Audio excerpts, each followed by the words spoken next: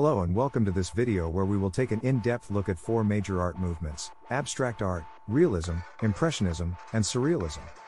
Realism, on the other hand, is focused on creating an accurate representation of the real world.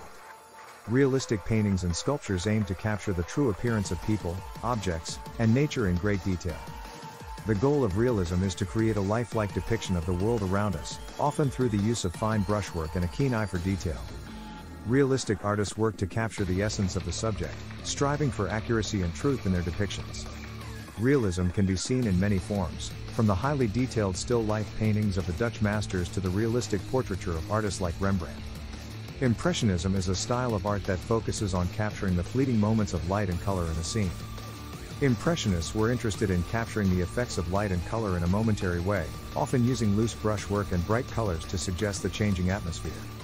The goal of Impressionism is to capture the fleeting feeling of a moment, and to convey a sense of atmosphere and mood through the use of light and color. Impressionist paintings often feature scenes of outdoor life, such as gardens, parks, and the urban landscape, and are characterized by their vibrant use of light and color.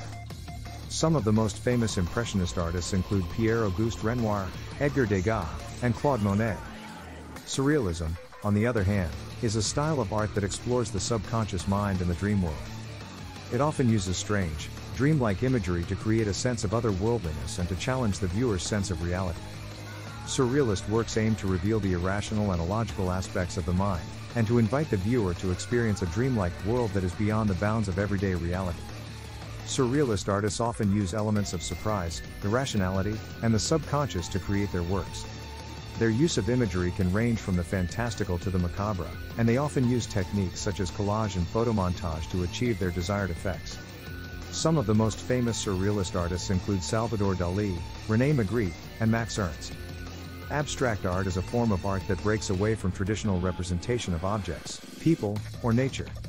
It is an experimental approach that focuses on the use of color, form, and composition to evoke emotions and feelings in the viewer. Abstract artists aim to challenge the viewer's perception of reality and invite them to explore the artwork in their own way. They reject the notion that art must represent something recognizable, and instead create compositions that are non-representational and intended to be appreciated for their visual qualities alone. Abstract art can be characterized by the use of vibrant colors, bold lines, and an emphasis on texture. Some of the most famous abstract artists include Pablo Picasso, Jackson Pollock, and Mark Rothko. In conclusion, each of these art movements, realism, impressionism, surrealism and abstract art has its own unique approach to representation and its own distinct techniques. But, all have contributed to the evolution of art over time and have inspired countless artists to explore new and creative ways of expressing themselves. Thanks for watching.